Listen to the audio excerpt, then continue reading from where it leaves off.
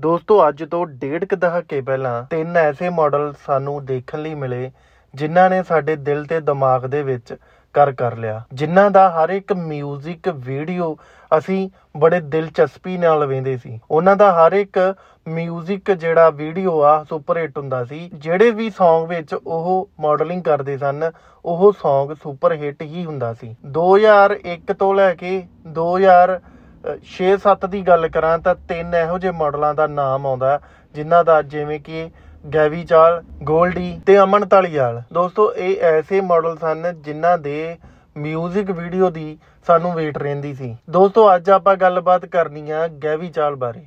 ਗੈਵੀ ਚਾਲ ਦੀਆਂ ਫਿਲਮੀ ਕੈਰੀਅਰ ਤੇ ਮਾਰਨੀਆਂ ਚਾਹ ਕਿੰਨੀਆਂ ਫਿਲਮਾਂ ਆਈਆਂ, ਕਿਹੜੀ ਸੁਪਰ ਹਿੱਟ ਰਹੀ, ਕਿਹੜੀ ਫਲॉप ਰਹੀ, ਕਿਹੜੀ ਹਿੱਟ ਰਹੀ, ਪੂਰੀ ਜਾਣਕਾਰੀ ਦੇਣੀ ਹੈ ਇਸ ਵੀਡੀਓ ਦੇ ਵਿੱਚ। ਗੈਵੀ ਚਾਹਲ ਨੇ ਵੈਸੇ ਤਾਂ ਜਿਹੜਾ ਆਪਣਾ ਕੈਰੀਅਰ ਆ 뮤직 ਵੀਡੀਓ ਰਾਹੀਂ ਜਾਨੀ ਕਿ ਮਾਡਲਿੰਗ ਰਾਹੀਂ ਸ਼ੁਰੂ ਕੀਤਾ, ਪਰ ਉਹਨਾਂ ਨੇ ਸਾਡੀ ਝੋਲੀ ਦੇ ਵਿੱਚ ਇਹੋ ਜੀਆਂ ਫਿਲਮਾਂ ਪਾਈਆਂ ਜਿਹੜੀ ਕਿ ਹਮੇਸ਼ਾ ਯਾਦਗਾਰ ਰਹਿਣਗੀਆਂ।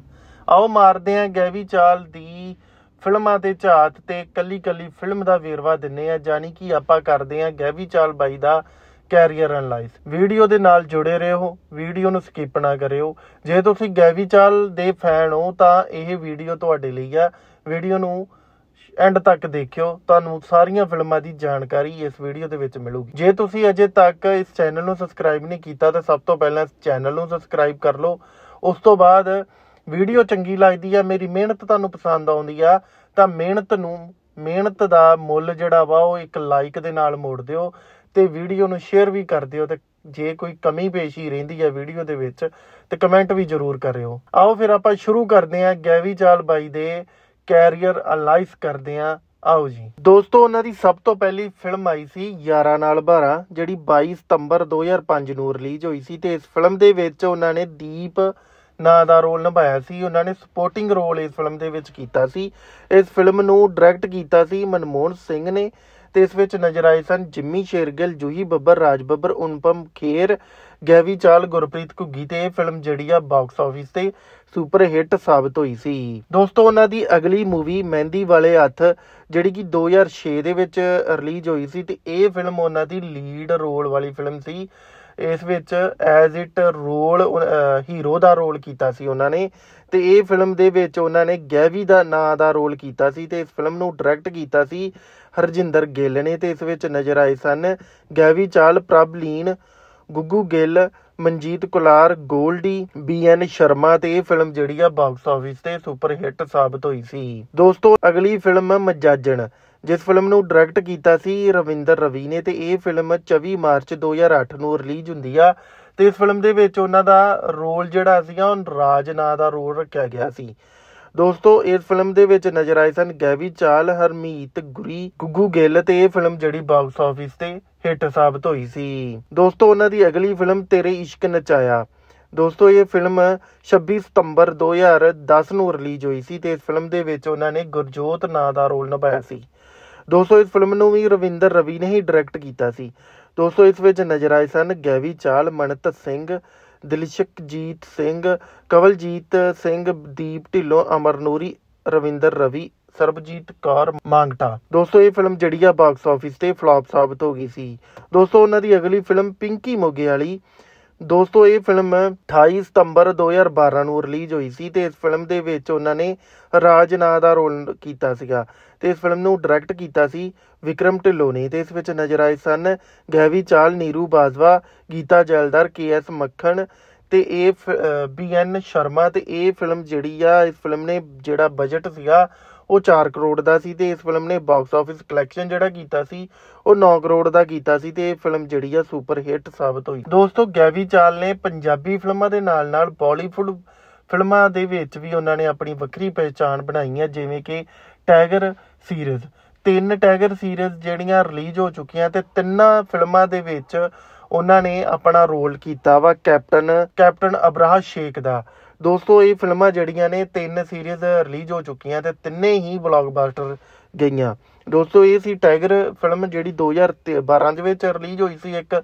ਤੇ ਉਸ ਤੋਂ ਬਾਅਦ ਉਹਨਾਂ ਦੀ ਸਾਹਕੋ ਫਿਲਮ ਆਉਂਦੀ ਆ ਸਾਹਕੋ 363 ਇਹ ਜਿਹੜੀ 2014 ਚ ਰਿਲੀਜ਼ ਹੁੰਦੀ ਹੈ ਤੇ ਇਹ ਵੀ ਫਿਲਮ ਜਿਹੜੀ ਆ ਹਿੰਦੀ ਮੂਵੀ ਸੀ। ਦੋਸਤੋ, ਉਹਨਾਂ ਦੀ ਅਗਲੀ ਫਿਲਮ ਹੈ ਜਰਾਨੀ।